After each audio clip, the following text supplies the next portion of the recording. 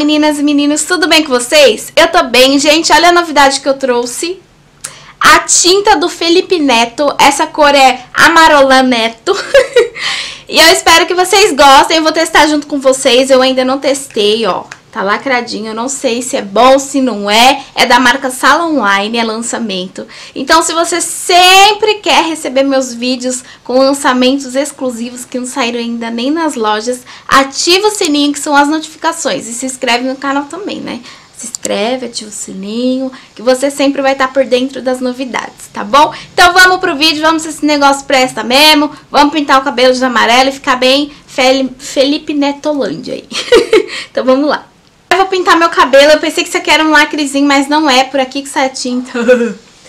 é, eu vou pintar então, ó. Eu, eu vou lavar meu cabelo logo menos. Então, vou pintar essa partezinha aqui dos cachos pra ver o que que dá, tá? Ó, gente, aqui tem um modo de usar pra você agitar bem assim, ó. Atenção, coruja!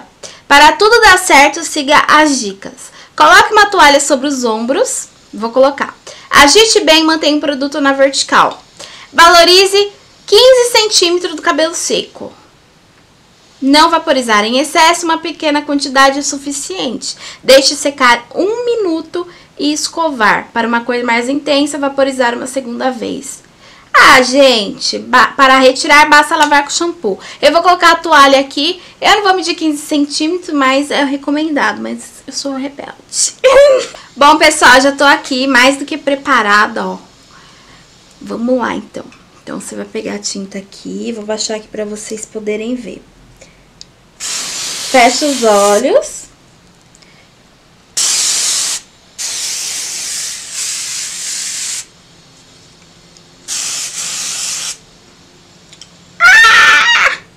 cabelo verde.